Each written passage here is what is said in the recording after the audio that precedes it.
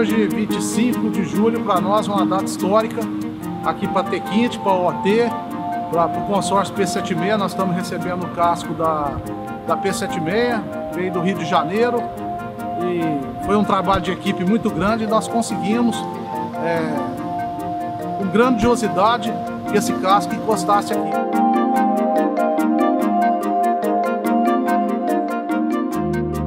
Hoje realmente é um marco fundamental para o projeto.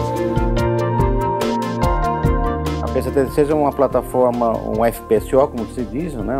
em inglês, uma plataforma de, de produção, de, de estocagem e produção é, de petróleo na área de pré-sal, com o site capacitado, o site de Pontal do Paraná, Unidade Offshore Tequinde, capacitado para projetos desse porte, é, a importância desse projeto é que coloca a Tequinte, em definitivo, como um dos principais players é, no mercado de óleo e gás é, para a construção.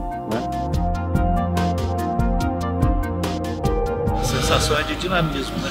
porque é o primeiro FPSO que se atraca aqui no estado do Paraná, é o primeiro FPSO da unidade OT da Tequinte que é o primeiro navio que faz uma operação desse porte aqui na, na Baía de Paranaguá.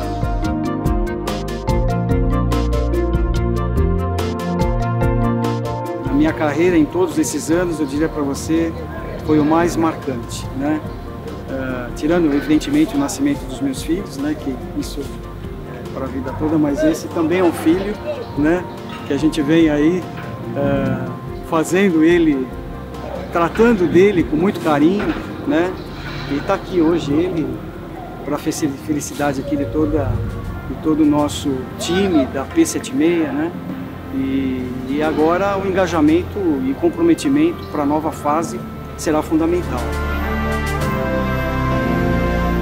Bom, o trabalho segue aí, a gente tem outros desafios por vir e tão grandes quanto esse que a gente está tendo hoje.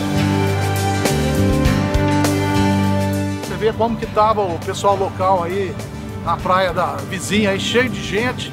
Dá uma satisfação muito grande. Toda a comunidade dá uma alegria danada. Perseverança.